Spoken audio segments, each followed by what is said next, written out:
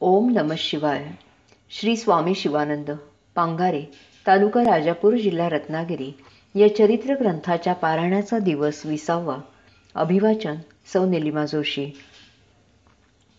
असंच एक पत्र गुहागरच्या एका इसमाचं आहे. त्याच्या पत्नीला फार त्रास होता. आजारपण पीडा वगैरे. अनेक उपचार केले पण गुण येत नाही अशा अर्थाचं आणि श्री स्वामींना विनंती केली आहे आपल्याकडे येण्यासाठी लागणारे गाडीभाडे खर्च करणे सुद्धा शक्य नाही अशी हलाखीची परिस्थिती आहे वगैरे वगैरे. या गृहस्थांना उत्तरात स्वामींनी कोणताही उपाय अगर प्रसाद अगर काहीही सुचवलं नाही फक्त लिहिलं आपलीच बुद्धी नाशाला कारण आहे. यावर मी श्रींना जरा खोदून विचारलं होतं. त्यावर श्री म्हणाले ब्राह्मणांनी करू नयेत अशा अनेक गोष्टी जाणून बुजून केल्या गेल्या आहेत. वाईट गोष्ट केल्याची खंत नाही पश्चाताप नाही. उलट सर्व दोषांचं खापर दुसऱ्याच्या माथी फोडून आपण नामानिराळा राहण्याची वृत्ती आहे. अशी स्थिती असल्यामुळे भगवंताची कृपा कशी होणार? खऱ्या पश्चातापाने सन्मार्गाने चालण्याच्या इच्छेने आणि झालेल्या कर्मांवर पुण्यकर्म करून इलाज करण्याच्या इच्छेने त्यांनी काही केलं तर त्यांचा विचार करू.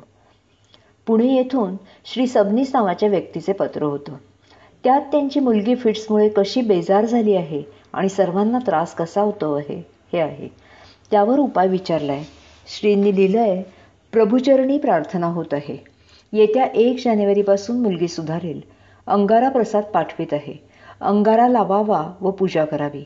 मुलींनी व्यंकटेश स्तोत्राचा दररोज तीन वेळेला पाठ करावा. अंगारा प्रसाद गुण येण्याची निश्चित तारीख आणि थोडी उपासना. अशी उत्तरं क्वचित मिळतात. बरेच वेळेला गुण येईल अमुक दिवस अमुक करावं वगैरे सूचना अगर उपासना असते. पण उपासना सुरू होण्यापूर्वीच गुण येण्याची निश्चित तारीख दिलेलं पत्र म्हणून या पत्राचा मुद्दाम उल्लेख केला. मला वाटतं आलेला गुण टिकून राहावा आणि संरक्षणात्मक बचावशक्ती वाढून असलेल्या त्रासातून मुक्त होण्यासाठी ती स्वयंपूर्ण व्हावी म्हणूनच ती उपासना दिली असावी. एकामागे एक अशा प्रकारची हजारो उदाहरणं देता येतील. सर्व बाबतीत बहुतेक वेळेला अंगारा प्रसाद दिला जात असे. काही वेळेला काही उपासना सुचवली जात असे. या उपासनेत सुद्धा बरेच प्रकार होते. कोणाला गाणगापूरला केशर पूजा दर्शन असं सुचवलेलं असे. कुणाला माणिक प्रभूंच्या फोटोची पूजा सांगितलेली असे. कुणाला साईबाबांचा फोटो कुणाला पांडुरंगाचा व अक्कलकोट स्वामींचा असे विविध दैवतांच्या उपासना असत. वैदिकांना काही विशिष्ट वैदिक सूत्रांचं सुक्तांचे पाठ असत. कुणाला दिगंबरा दिगंबरा हे भजन एक तास रोज सायंकाळी करायला सांगितले जाई. कुणाला शिवाय नम शिवाय याचा तासभर भजन जप असे. कुणाला श्री गुरुचरित्राचे सप्ताह असत. रोज एक अध्याय असे अगर निदान पाच ओव्या तरी न चुकता वाचा असं असे.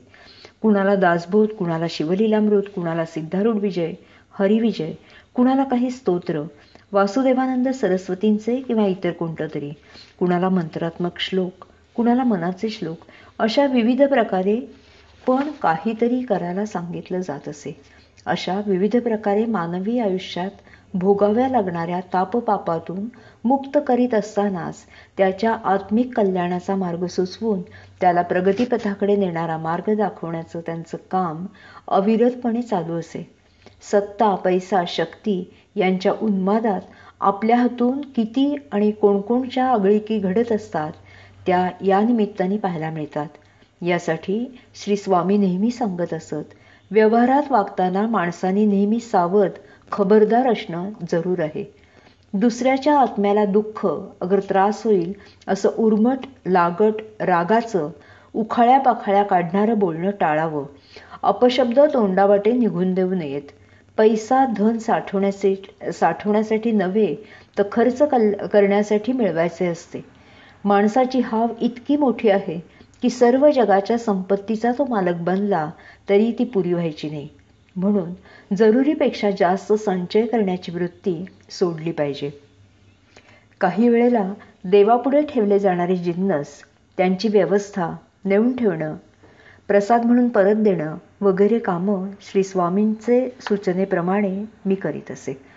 त्यामुळे कुणाला कोणत्याही गोष्टीची गरज पडली तर ते माझ्याकडे मागायला येत. मी माहितगार म्हणून कधी सोयदोरा कधी एखादं पुस्तक औषध साबण असं काहीही. राजा गावात दुकान असं नव्हतंच. कोणतीही गोष्ट हवी असेल तर माणूस पाठवून राजापूर वा कोंडे येथून चार सहा मैलावरूनच ती आणावी लागत असे. त्यामुळे कोणती उणीव असू नये म्हणून क्वचित लागणाऱ्या वस्तूसुद्धा संग्रही ठेवाव्या लागत. हेतू इतकाच की शहर गावातून आपल्या निमंत्रणानुसार आलेल्यांची कोणतीही गैरसोय होऊ नये. येणाऱ्या भक्तमंडळीत काही मामुली व्यसने असलेली असत. पान तंबाखू हे खेडेगावात व्यसनच मानलं जात नाही तर तो एक शिष्टाचाराचा प्रकार मानला जात असे. त्यामुळे त्याची सोय नेहमीच असे. पण विडी सिगारेट तपकीर यांची व्यसनं असलेल्यांची काही वेळेला गैरसोय व्हायची.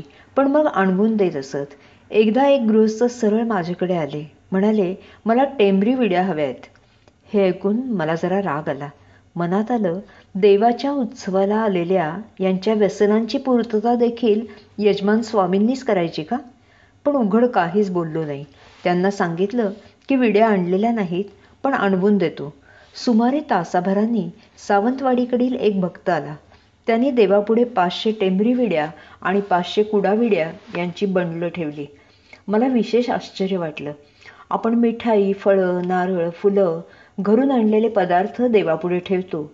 त्याच भावनेनी विडी व्यवसायातील यांनी देवापुढे विड्या ठेवल्या. दर्शन घेऊन तो आपल्या निवास व्यवस्थेकडे गेला. मी मात्र गोंधळून गेलो होतो. आपल्या व्यसनपूर्तीसाठी विड्यांची मागणी करणारा भाविक आणि करीत असलेल्या व्यवसाय व्यवसायातील देवाचा वाटा देवाला देणारा विडी व्यावसायिक भाविक ही दोनही रूपे पाहत होतो. कदाचित आपल्या भक्तांनी निमंत्रण केलेल्या कोणाचीही कसलीही गैरसोय होऊ नये म्हणून प्रत्यक्ष परमेश्वरानेच या दोन गोष्टींची व्यवस्था केली नाही ना? सर्व कामं तुम्ही करीत असलात तरी प्रत्यक्ष ती मीच ठरवल्याप्रमाणे घडत आहेत या परमेश्वरी संकेताचे तर हे प्रत्यंतर नाही ना? पावसाळ्याचे दिवस होते. मी श्री स्वामींना रत्नागिरीला आणण्यासाठी पांगरे येथे गेलो होतो. त्यावेळी गाडी फक्त कोंडे गावापर्यंतच जात असे. पांगरे ते कोंडे सुमारे चार मैल अंतर पायीच चालत जावं लागे. सकाळचं सर्व काम आवरून आम्ही कोंडे येथे येण्यासाठी पांगऱ्याहून सकाळी सुमारे साठ आठ साडेआठला निघालो. सर्वात वयाने अधिक सर्वात वयाने अधिक असून चालताना श्री स्वामीच नेहमी आमचे पुढे असत. काही गप्पा गोष्टी सुरू असल्या तर पुढे मागे होत असे. असंच बोलत चाललो होतो. मध्ये स्वामी आता थकलो चालवत नाही म्हणून विश्रांतीसाठी एका झाडाखाली बसले. आम्ही पण बसलो. थोड्या वेळाने स्वामी परत उठले आणि भराभर चालू लागले. पुन्हा बोलणं सुरू झालं. स्वामी मध्येच थांबून काही बोलत आणि पुढे जात. यावेळी आमच्यापैकी एकजण पुढे चालत जात होता. त्याच्या मागून श्री स्वामी जात होते. त्यांची पावलं मात्र अगदी टेकली न टेकली इतकी अस्पष्ट दिसत होती. दोघांचं वजन जवळजवळ सारखंच होतं. अंगकाठी सुद्धा किरकोळ. त्यांचे मागोमाग मी होतो. मी मागे वळून पाहिलं माझी पावलं सुद्धा जमिनीवर स्पष्ट उमटलेली दिसत होती. इतक्यात काही सांगण्यासाठी श्री स्वामी मागे वळून पाहत पाहून म्हणाले काय रे काय पाहतोस? मी म्हटलं पायांचे ठसे. आमच्या सर्वांच्या पायाचे ठसे या नरम मातीच्या वाटेवर चांगले उमटलेले दिसतात. पण आपल्या पायांचे ठसे मात्र अगदी अस्पष्ट आहेत. त्यावर श्री म्हणाले माझं वजन कमी ना म्हणून असू दे तू तिकडे लक्ष देऊ नकोस चल.